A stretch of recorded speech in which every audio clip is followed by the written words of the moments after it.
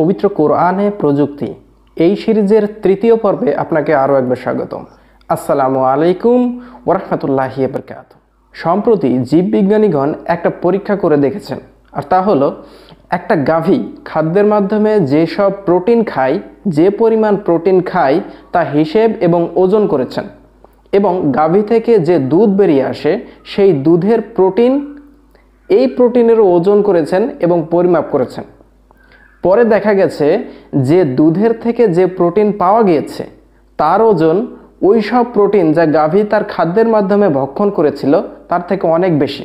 অর্থাৎ গাভী যে পরিমাণ প্রোটিন খেয়েছে আর গাভী যে পরিমাণ দুধ দিচ্ছে, সেই দুধের প্রোটিন অনেক বেশি।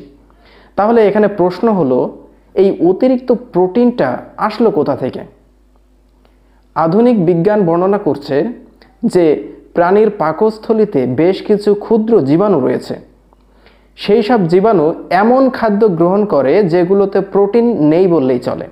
সেই জীবাণুগুলো এই খাদ্যকে প্রোটিনে রূপান্তর করে, যা মানব শরীরের জন্য অত্যন্ত উপকারী। এই দুধে মানব শরীরের প্রয়োজনীয় সব ধরনের খাদ্য উপাদান রয়েছে। তাই এই দুধ সন্তানের জন্য যেমন উপকারী, তেমনি উপকারী যুবক, বৃদ্ধসহ সকল মানুষের জন্য। আমরা কি কখনো ভেবে দেখেছি এই দুধ আসলে সৃষ্টি হয় কীভাবে? প্রথমেই আসুন দেখি যে দুধ উৎপাদন করার প্রসেসটা আসলে কেমন, একটা প্রাণী দেহে কীভাবে দুধ উৎপন্ন হয়।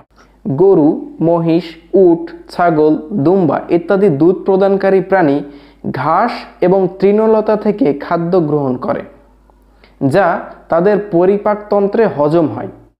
খাদ্যের পরিত্যাজ্য বস্তুগুলো মল বা গোবর হিসেবে পরিত্যক্ত হয় আর গ্রহণযোগ্য বস্তুগুলো ইন্টেস্টাইন বা অন্ত্র থেকে রক্তে প্রবেশ করে।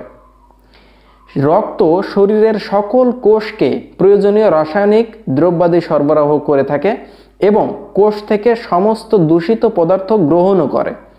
গ্রহণ করার পর রক্ত এই ক্ষতিকর বা অপ্রয়োজনীয় পদার্থগুলোকে শ্বাস প্রশ্বাসের মাধ্যমে এবং মূত্রের মাধ্যমে বের করে দেয়।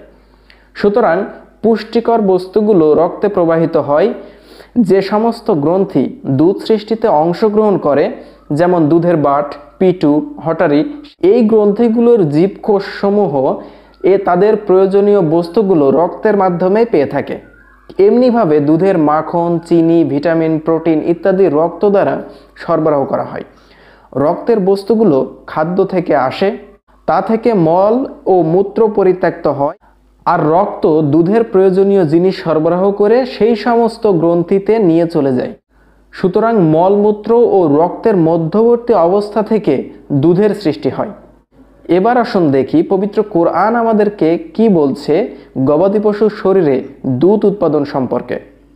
প্রথমেই এই বিষয়টা জানতে চলে যাব সুরা আর নাহালের ছেষট্টি নম্বর আয়াতে, অর্থাৎ ষোলো নম্বর সুরার ছেষট্টি নম্বর আয়াতে।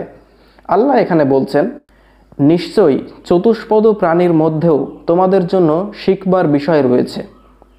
আমি তোমাদেরকে পান করাই এদের শরীর থেকে, তাদের মলমূত্র ও রক্তের মধ্যবর্তী বস্তু থেকে নিঃসৃত দুধ, যা পানকারীদের জন্য উপাদেয়।